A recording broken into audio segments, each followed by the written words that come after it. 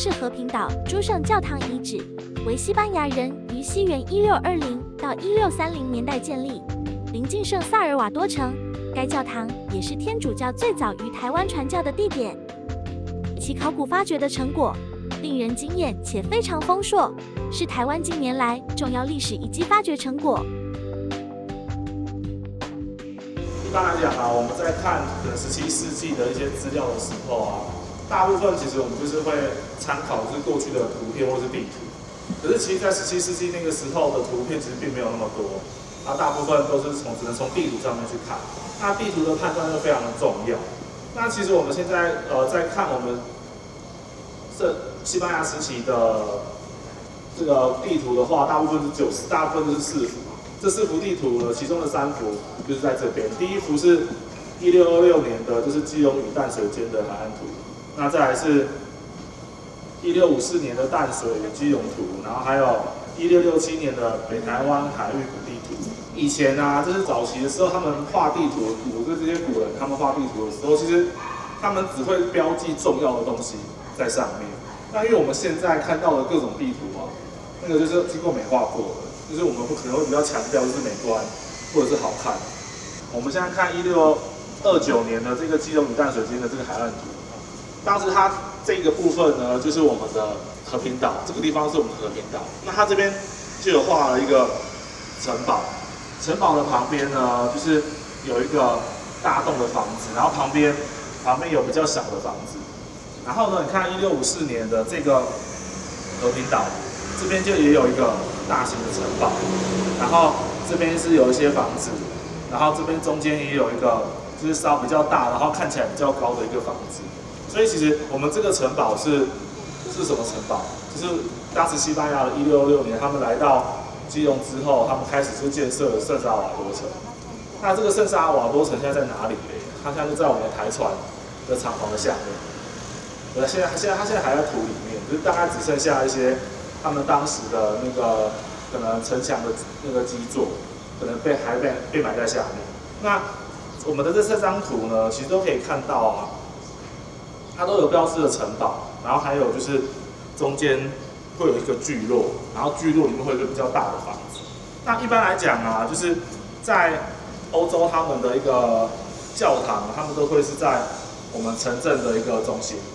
因为我之前我去西班牙朝圣之路，就我走过。那我们去朝圣的时候，我们每天这样一直走，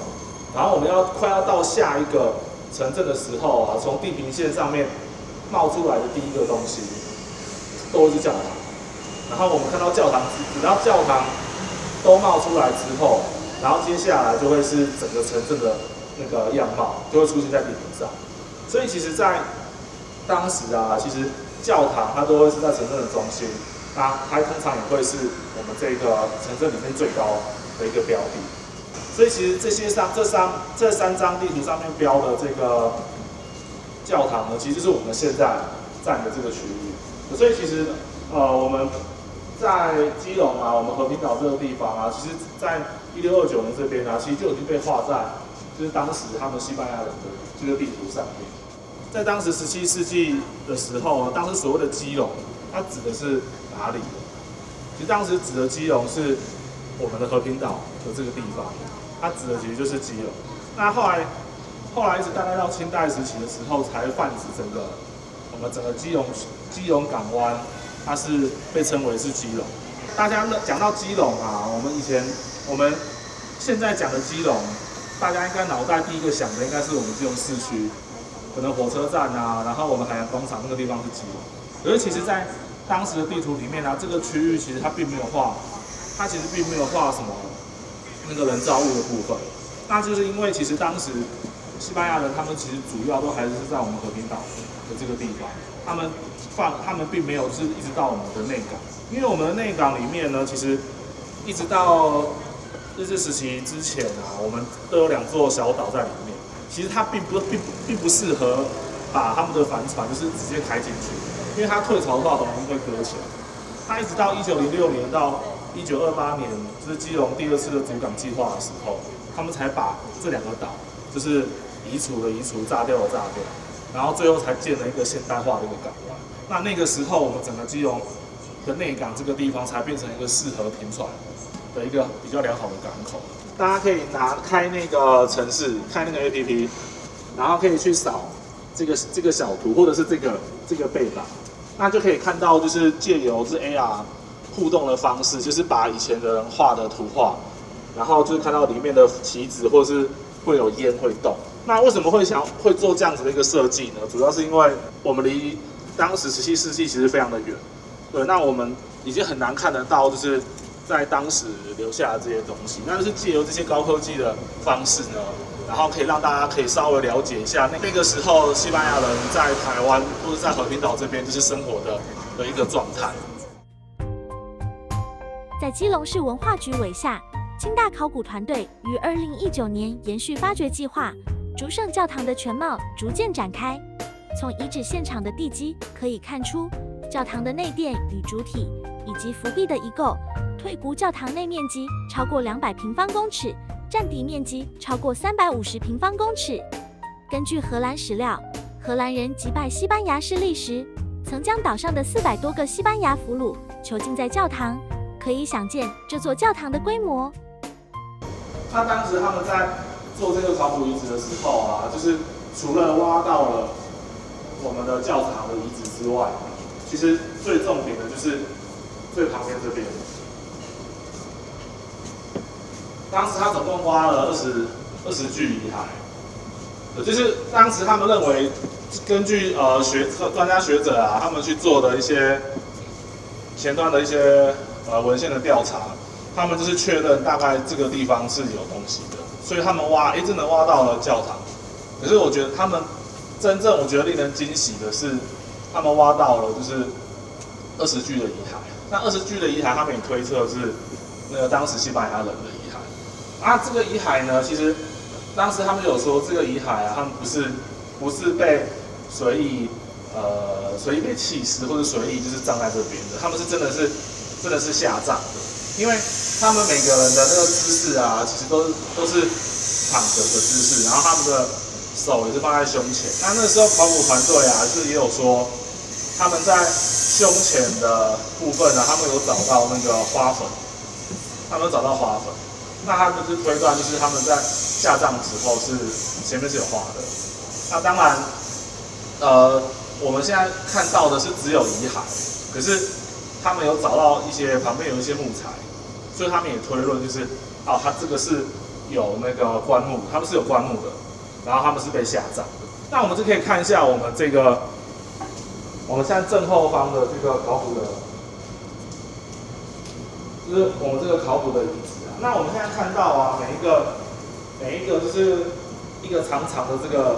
考古的这个坑，就是当时他们挖到的遗骸，对，就是就是躺在这个地方。那当然遗骸它已经被遗骸已经被送走了，对，那他们有一些被送到就是国外去做一些其他的一些研究。那这个时候我就有问那个考古团队的人，就说你们挖这边的时候，你们怎么知道这个下面有东西？因为你上面看起来其实都一样。然后后来他就问我一个就是还蛮好玩的问题，他就问我说：“你知道那个如果我们要把一个人啊，还要埋到土里面？”我们的那个 SOP 是我们的流程会是什么？如果我们要把一个人抬到土里，先挖一个洞，然后呢，啊，把人放进去，然后呢，对，再把土盖起来，这是一个标准的一个流程。那他就说啊，因为你当你要把人放进去之前，你挖这个土，你把土挖出来之后，那个你挖出来的这个土的密度跟旁边密度就会不一样。所以当你把人放进去，然后呢？再把土覆盖之后，你把它就算把它敲土，它那边的土跟旁边土就会不一样。所以当他们在上面去开始就是在做考古的时候呢，他们其实看到那个这一块的土的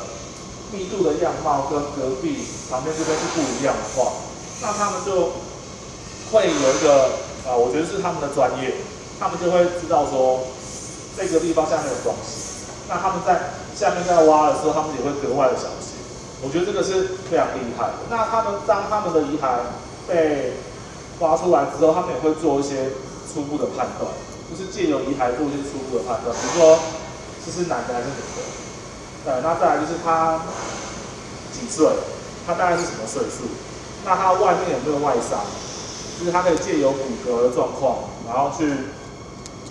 去做一个测，去做一个判断。那他们要怎么，他们要怎么样透过就是骨头去判断年纪？好吧，有没有人想要猜一下？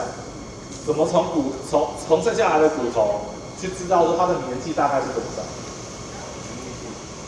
哎，我没有，我们现在还没有办法进实验室，我们现在现场看到的话，他们大概可能可以做的一个判断，就会是怎么去判断？牙齿啊？哎，牙齿对，就是因为牙齿啊，我们的牙齿是不会是恢复的，所以你磨损多少，大概可以去。做一个判断，说这个它是什么年纪？对，我觉得这是一个是比较还没有进实验室之前的一个判断。为什么啊？我们这边遗骸会比较多，就是我们这个区域挖出来遗骸会比较多。教堂是在旁边，那这边为什么遗骸会比较多？大家有知道吗？然后猜一下。墓园，对，没有错哦，就是在以前啊，在。较早以前，就是我们的教堂旁边是墓园。那后来一直到比较近代的时候啊，呃，我们的那个可能公共卫生的关系，那他们是不是把墓园就是移到了那个我们的可能这个城镇的外围，它就不会是它就不会是在它就不会是在我们的就是教堂旁边。对，所以其实，在以前大概十七世纪的时候啊，教堂的旁边是墓园是不正常。我们的天主教教徒在过世之前。他们要踏上另外一个旅途之前，就是他们以前的一些仪式哦，比如说他们一定要一定要就是写遗书，然后一定要请教区的这些教区的神父，然后来到他们家，然后等于就是要最后要让他忏悔，做一个就是忏悔的一个动作。所以其实大家我们现在看到的是一个呃，就是已经是考古挖完的一个结果。那当然因为人都已经不见了。所以，我们就可以透过这个 AR 的方式啊，然后他可以再去看这个以前我们到底他们过的是什么样子的生活，因为这些人已经不在，所以其实你很难，你很难就是直接用写的、用文字去表达，所以现在都会用比较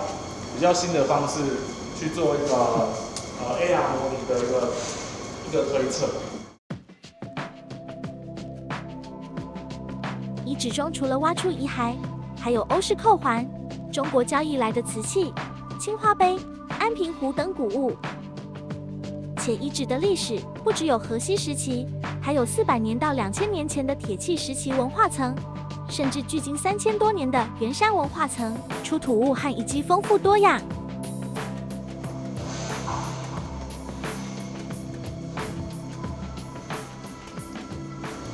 对啊我们。这边啊，从西班牙人来之后，然后荷兰人，然后日治时期，然后最后到最后到我们现在啊，所以其实我觉得可以经过这个快要四百年，然后这个地方还有这个地基啊，我觉得非常不容易。而且其实同时啊，也留下来一些就是不同时代的东西，比如说我们现在看到我们前方这三个红砖。砌成的这个池子啊，这个是什么？这个其实就是日治时期他们的那个化粪池啊，因为当时他们是化粪池往下挖的时候，然后就把它破就破坏掉了那个内殿后面的这个伏壁。我们现在这个出来的这个地方就是伏壁，所以其实我觉得光从这个光从就是这个教堂的遗址啊，就可以看到就是不同时代的一些呃过去的人生活的一些东西。那包含其实在这边也有挖到我们教堂遗址这个区域也有挖到是三千五百年前跟一千五百年前的人，他们生他们生活的一些东西，像是三千五百年前的石斧，那大概一千五百年前的玻璃珠，就是其实我们基隆的发展的这个你要追溯基隆发展的那个源头，其实可能就没有只有四百年而已，有真的可能是三千多年前这边就一直有人去居住，只是都没有人去做文字的记录。我们这边开发的也早。所以可能东西也都被挖掉，所以你想想看哦，其实我们这个遗址假设早个二三十年前，如果这边有去做什么东西的话，可能也不会留着，就是可能就直接就挖掉。对，那就还好，我们现在还有保留了这个，就是我们教堂内殿有这个还蛮完整的一个部分，就是让我们现在去看，直接可以看到，就是说一些西班牙人曾经在这个地方，他们有做一些就是相关的一些呃设施或者是一些建设。